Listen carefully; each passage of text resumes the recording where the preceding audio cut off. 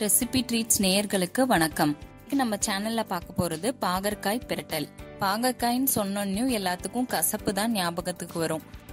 பாகற்காயை வந்து முழு கசப்பையும் எடுத்துட்டு நம்ம சமைக்க கூடாது அதுல கொஞ்சமாவது கசப்பு இருக்கணும். இந்த மாதிரி நீங்க செய்யும் போது இந்த தக்காளியோட புளிப்போட சேர்ந்து அந்த கசப்பு வந்து உங்களுக்கு பெருசா தெரியாது. பாவக்கால பாத்தீங்கன்னா எண்ணற்ற சத்துக்கள் இருக்கு. இந்த பாவக்காவை ரெகுலரா நம்ம உணவுல எடுத்துக்கிட்டோம் அப்படின்னா நம்ம பிளட் சுகர் லெவலில் மெயின்டைன் பண்ணும். பேட் கொலஸ்ட்ரால் லெவலில் லோ பண்ணும். ஸ்கின்னும் ஹேரும் வந்து ஆரோக்கியமா இருக்கிறதுக்கு ஹெல்ப் பண்ணும். லிவரை சுத்தப்படுத்தும். வெயிட் லாஸுக்கு உதவும். இம்யூன் சிஸ்டமை வந்து இன்க்ரீஸ் பண்ணும். கண்ணை வந்து ஆரோக்கியமா வச்சுக்கிறதுக்கு ஹெல்ப் பண்ணும். இன்னும் நம்ம சேனல்ல சப்ஸ்கிரைப் பண்ணலைன்னா கீழே இருக்க சப்ஸ்கிரைப் பட்டனை கிளிக் பண்ணி பக்கத்துல இருக்க பெல் ஐக்கானை பிரஸ் பண்ணிக்கோங்க. அப்பதான் நாங்க போடுற எல்லா வீடியோ உங்களுக்கு நோட்டிபிகேஷன்ல வரும். இப்போ வாங்க அதுக்கு தேவையான பொருட்கள் பார்க்கலாம். பாகற்காய் நானூறு கிராம் தக்காளி முந்நூறு கிராம் சீரகம் ஒரு டீஸ்பூன் முந்திரி பத்து இது ஆப்ஷனல் தான்.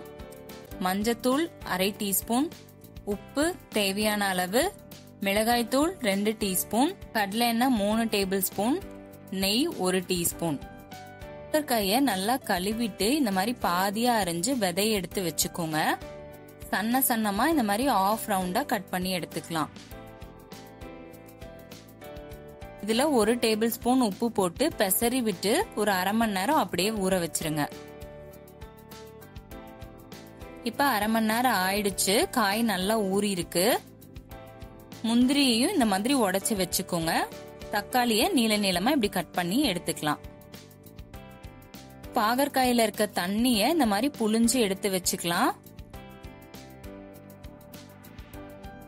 இப்ப அடுப்ப பத்த வச்சு மண் சட்டியை வச்சிடலாம். இதுல ஒரு டீஸ்பூன் நெய்யும் மூணு டேபிள் ஸ்பூன் கடலை எண்ணெயும் ஊத்திக்கலாம்.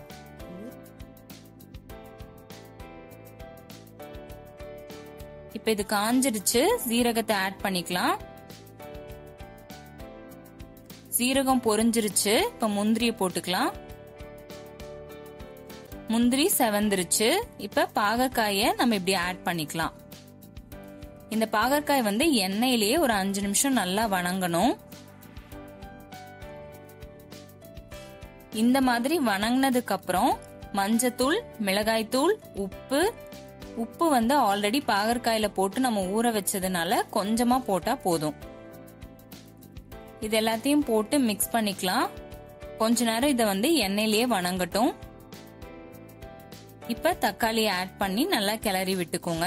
இதுல தண்ணி எதுவும் ஆட் பண்ணக்கூடாது. இது ஒரு பத்து நிமிஷம் நல்லா வேகட்டும். மூடி போட்டு வச்சுக்கலாம். இப்போ பத்து நிமிஷம் ஆயிடுச்சு. எண்ணெய் வந்து ஓரத்துல நல்லா பிரிஞ்சு வந்திருக்கு. காயும் நல்லா வெந்திருக்கு. அவ்வளவுதாங்க நமக்கு சூப்பரான பாகற்காய் பிரட்டல் ரெடி ஆயிடுச்சு. இது வந்து சாதத்துல போட்டு பிசைஞ்சு சாப்பிட்டாலும் சூப்பரா இருக்கும். தயிர் சாதத்துக்கு சைடிஷா இதை யூஸ் பண்ணிக்கலாம். இவ்வளோ சத்து இருக்க பாவக்காவை கசப்புனால நிறைய பேர் சாப்பிட மாட்டாங்க. இந்த வீடியோல சொல்ற மாதிரி செஞ்சு கொடுங்க கண்டிப்பா எல்லாரும் சாப்பிடுவாங்க. இது எல்லாரும் ட்ரை பண்ணி பாப்பீங்கன்னு நினைக்கிறேன். இதை ட்ரை பண்ணிட்டு எனக்கு கமெண்ட் பண்ணுங்க. உங்க ஃப்ரெண்ட்ஸுக்கும் ஷேர் பண்ணுங்க. அப்படியே இந்த வீடியோக்கு ஒரு லைக் பண்ணுங்க. மறக்காம நம்ம சேனலுக்கு சப்ஸ்கிரைப் பண்ணிடுங்க. நன்றி.